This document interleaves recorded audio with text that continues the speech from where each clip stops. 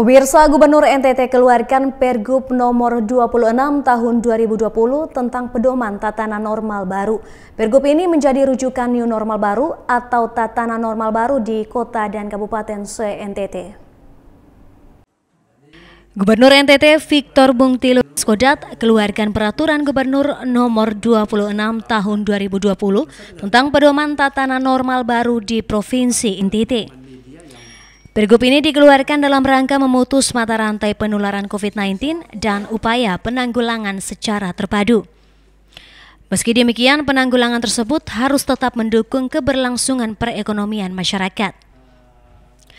Karohumas dan Protokoler Setda Provinsi NTT mengatakan, sejak 15 Juni, Provinsi NTT sudah memperlakukan tatanan normal baru atau new normal per 15 Juni ini semua diaktifkan ya, semua sektor, tidak hanya tata kelola pemerintahan tetapi juga non pemerintah.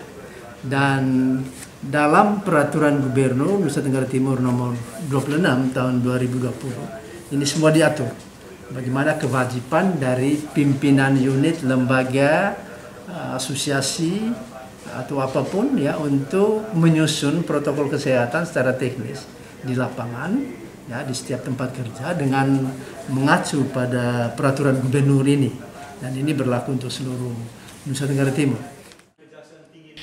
Pergub tersebut juga menjadi rujukan bagi seluruh kabupaten kota di Provinsi NTT. Para bupati dan wali kota diminta untuk menerapkan dan memantau pelaksanaan di lapangan. Dari Kupang, Oktober, tim iNews melaporkan.